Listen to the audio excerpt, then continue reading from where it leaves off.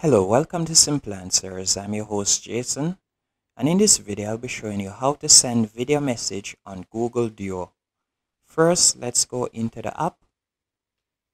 Once you're in the app, you will simply tap on the bottom right here that you see video.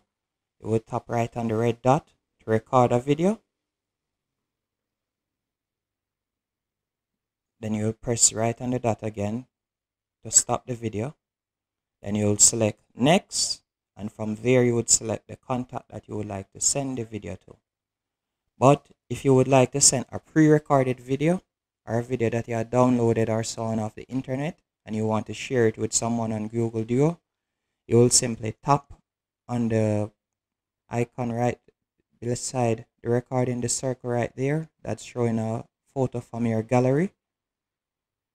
And that will open up galleries and from there you can select whichever video you'd like to share.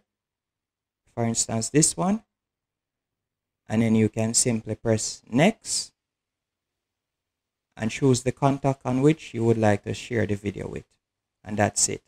Hope you found this video helpful and informative. If you did be sure to hit the like button and subscribe. And thank you for watching